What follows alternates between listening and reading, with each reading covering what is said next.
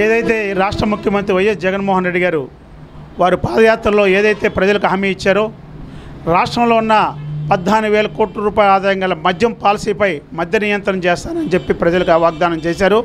అదేవిధంగా మద్య నియంత్రణ చేసే విధంగానే ఇవాళ వైన్ షాపులన్నీ కూడా క్రమబద్ధీకరణ చేసి షాపులన్నీ కూడా తగ్గించి అదే షాపుల్ని ప్రభుత్వ పరంగా ప్రభుత్వం నడబడే విధంగా ఇవాళ ఓ పాలసీని తీసుకొచ్చారు. దానిలో ఏంటంటే ప్రైవేట్ ఫారం లేకోకుండా ఇవాళ చదువుకున్న వాళ్ళని ఎంతోమంది నిరుద్యోగులందరూ కూడా భర్తీ చేసి వాళ్ళకి పదిహేను వేల రూపాయలు శాలరీలు ఇచ్చి ఒక పది గంటల నుంచి రాత్రి పది గంటల వరకు నియమ నిబంధనల ప్రకారం నడిచే విధంగా మద్య నియంత్రణ చేసే విధంగా వైన్ షాపులు నడుస్తున్నాయి దానికి కూడా ఏంటంటే వైన్ షాప్లోకి వెళ్ళి బాటిల్ కొనుక్కుంటే వాళ్ళు ఒక కంప్యూటర్ రసీదు ఇచ్చి ఏదైతే ఏదైతే ధర ఉందో అదే ధరకు మరి చెందే విధంగా ఉంది.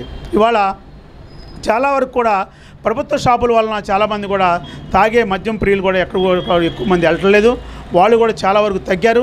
ఇవాళ మద్యం తాక్కోకుండా ఉండే విధంగా కూడా జనాల్లో చైతన్యపరిచే విధంగా ఇవాళ ప్రజల్లో కూడా మార్పు వచ్చింది. కొంతమంది మద్యం సేవించి వెళ్ళి ఇంట్లో భార్య పిల్లలను కొట్టే పరిస్థితులు కూడా కొన్ని కొన్ని రోజుల క్రితం దాఖలో ఉంది. కానీ వాళ్ళ మద్య నియంత్రణ చేసే విధంగా చాలామంది కూడా భార్య పిల్లలు కూడా చెప్పడం మార్పులో వచ్చి చాలామంది మద్యం మానిపోయి ప్రియులు కూడా తగ్గారు. అదేవిధంగా వాళ్ళ కొత్తగా ఇవాళ రాష్ట్ర ముఖ్యమంత్రి జగన్మోహన్ రెడ్డి గారు బారులు పెంచే విధంగా బారులు ఏ విధంగా అయితే క్రమబద్ధీకరణ చేసే విధంగా ఓ పాలసీతో నేను ఎక్సైజ్ అధికారులతో కమిషనర్లతో ప్రిన్సిపల్ సెక్రటరీలతో అదే బారులు తగ్గిస్తానంటున్నారు. బారులు తగ్గించడం వల్ల ఏంటంటే ఏదైతే వైన్ షాపులు మీరు తగ్గించారో అదేవిధంగా బార్లు కూడా తగ్గించి రేట్లు పెంచుతానంటున్నారు. రేట్లు పెంచడం వల్ల ఏంటంటే మద్యం తాగే వాళ్ళ మీద భారం పడిపోద్ది. ఏదైతే వాళ్ళ పద్నాలుగు వేల కోట్ల రూపాయల ఆదాయం నాకు కాదు అనుకుని రాష్ట్ర ప్రభుత్వం ముందడుగు ఏ విధంగా వేసిందో అదేవిధంగా బారులు తగ్గించే విధానంలో కూడా కొంత మార్పు తీసుకుని మరి తగ్గే తాగేవాళ్ళు తాగే వాళ్ళు కూడా తగ్గి ఉంటే ఇవాళ మద్యం ప్రియులు కూడా తగ్గుతారు. అదేవిధంగా ప్రభుత్వం కూడా ఏదైతే మాట ఇచ్చిందో ఆ మాట మీద కట్టుబడి ఉంటుందని చెప్పి చెప్తుంది జరిగింది. ఇవాళ రాష్ట్రం విభజన కాకముందండి ఇరవై నాలుగు వేల కోట్ల రూపాయల ఆదాయం అండి. వాళ్ళు ఈ పదమూడు జిల్లాలో ఎక్సైజ్ ఆదాయం పద్నాలుగు వేల కోట్ల ఆదాయం అండి. ఈ పద్నాలుగు వేల కోట్ల ఆదాయంలో ఇవాళ రవాణా శాఖ కానీ అనేక ఇతర శాఖలందరూ కూడా జీతాలు దీని మీద జరుగుతూ ఉన్నాయండి. ఇవాళ అవినీతి రహిత అవినీతి రహితంగా ఉండే విధంగా ఎక్సైజ్ అధికారులు ఇవాళ ఓన్లీ డ్యూటీ చేయడమే ఎక్కడా కూడా ఏ విధమైన చెడు అలవాట్లు లేకోకుండా ఉండే విధంగా పాలసీ నియంత్రణ చేసి అవసరమైతే పద్నాలుగు వేల రూపాయల కోట్ల ఆదాయం లోకు లోతు బడ్జెట్లో ఉండా కూడా ఈ పాలసీని ముందుకు తీసుకెళ్తానని ఏదైతే జగన్మోహన్ రెడ్డి గారు చెప్పారో అదేవిధంగా వారు చేసి ముందడుగులు వేస్తున్నారు కాబట్టి ప్రజలందరూ కూడా సహకరించి మద్యం తాగే వాళ్ళు మానాలని చెప్పి అలాగే మద్య విమోచన ప్రచార కమిటీ చైర్మన్ కూడా వేసి దీన్ని నియంత్రించే విధంగా అనేక చర్యలు తీసుకున్న ముఖ్యమంత్రి గారికి కూడా నేను ఈ విధంగా కృతజ్ఞతలు చెప్తున్నాను. మద్యం దొరక్కోకుండా ఉండేది అనేది అది కష్టం అండి. ఎందుకంటే ఒకప్పుడు మన మద్య నియంత్రణ చాలా ఎన్టీ రామారావు ప్రభుత్వం చేశాము.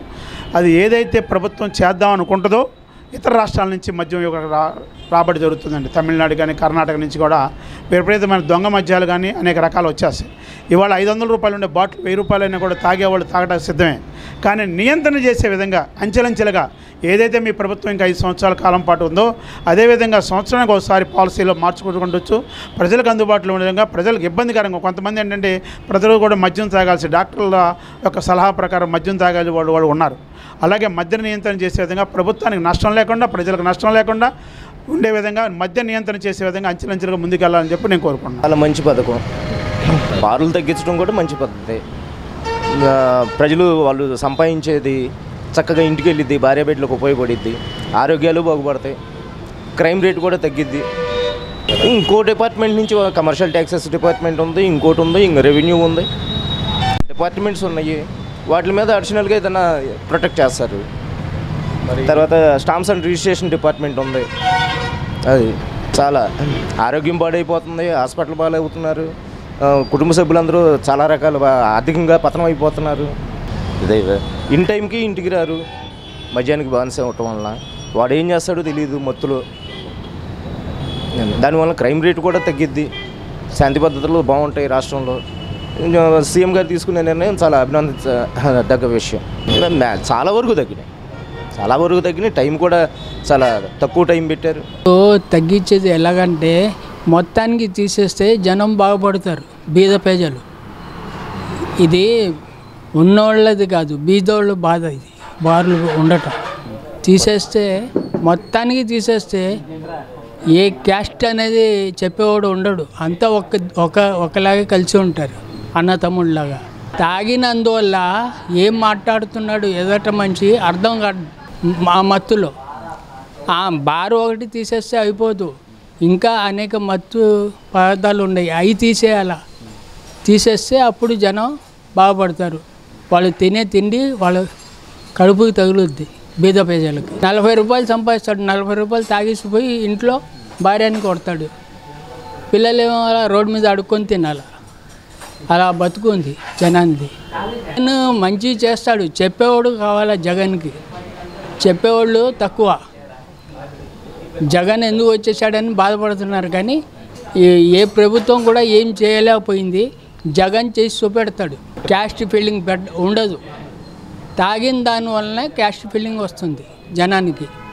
ఆడు ఆ జాతి ఓడు ఈడు ఈ జాతి ఓడని అలాంటిది ఏం రావు. అంతా ఒకటే అవుతారు. జగన్ ఉంటే. మంచిగా ఉండయి పథకాలు. అమల్లో రావాలి? అమలు చేయరు కదా ఆఫీసర్లు. లంచాలు తినేస్తారు. ఈ వీడియో గనుక మీకు నచ్చినట్లయితే లైక్ చేయండి షేర్ చేయండి. మరిన్ని వీడియోస్ కోసం మా ఛానల్ను సబ్స్క్రైబ్ చేయండి.